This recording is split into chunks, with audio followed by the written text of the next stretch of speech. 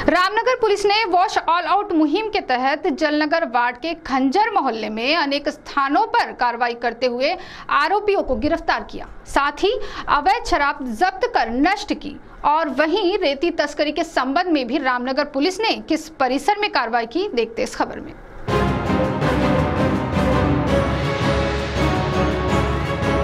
16 अप्रैल को पुलिस अधीक्षक अरविंद सालवे के आदेश के अनुसार रामनगर पुलिस स्टेशन के पुलिस निरीक्षक रोशन यादव के मार्गदर्शन में रामनगर पुलिस स्टेशन परिसर में विभिन्न स्थानों पर ऑल आउट मुहिम चलाई गई और यह मुहिम पुलिस अधीक्षक अरविंद सालवे का आदेश मिलते ही पुलिस निरीक्षक रोशन यादव के मार्गदर्शन में सहायक पुलिस निरीक्षक मलिक, सहायक पुलिस निरीक्षक एकरे के साथ डीबी पद्धत की टीम ने पेट्रोलिंग करते हुए जलनगर वार्ड के कंजर मोहल्ले में विभिन्न स्थानों आरोप मुए की शराब तथा मुए का सड़वा मिलने आरोप कार्रवाई की। जिसमें आरोपी सागर, रामकिशोर कंजर को गिरफ़्तार कर उसके पास मौजूद महुए की शराब तथा अन्य सामान ऐसा कुल मिलाकर तीन लाख अस्सी हज़ार रूपए का अवैध शराब जब्त किया। साथ ही आतिश, रामकिशोर कंजर को गिरफ़्तार कर उसके पास महुए का सड़वा तथा अन्य सामान मिलाकर पाँच लाख चालीस हज़ार रूपए का मुद्देमाल जब्त किया। वहीं तीसरी कार्रवाई में मुन्नी भाई हरि कंजर कंजर मोहल्ले की निवासी गिरफ़्तार कर उसके पास महुए का सड़वा के साथ अन्य वस्तु, ऐसा कुल मिलाकर तीन लाख साठ हज़ार रूपए का मुद्देमाल जब्त किया। वही चौथी कार्रवाई में आरोपी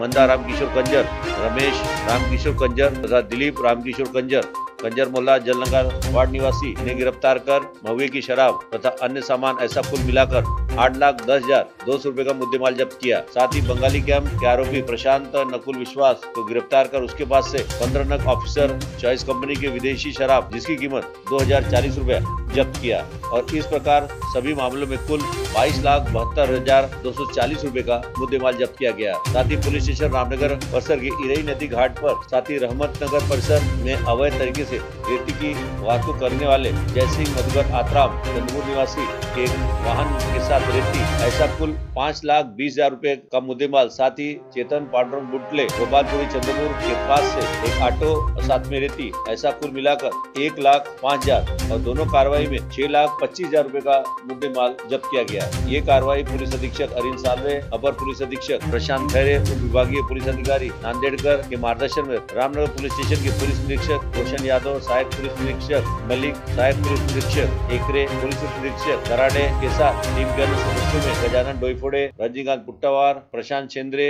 पुरुषोत्तम चिकाटे, संजय चौधरी, किशोर वैरागड़े पेतर सीडाम विकास जुगनाके सतीश अवथरे,